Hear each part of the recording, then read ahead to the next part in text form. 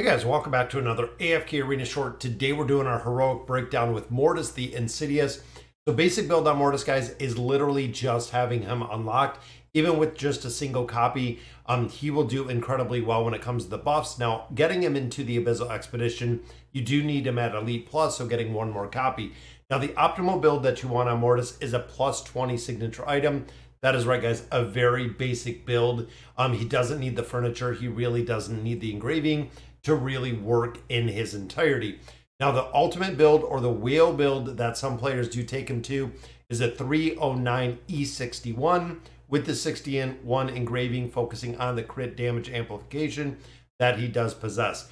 Now, overall, guys, again, super effective hero still used in a lot of AFK Arena as the buffing support aspect, but doesn't require a big build out. That'll do it for today's video. Let me know in the comments what you guys think. And as always, thank you guys for watching.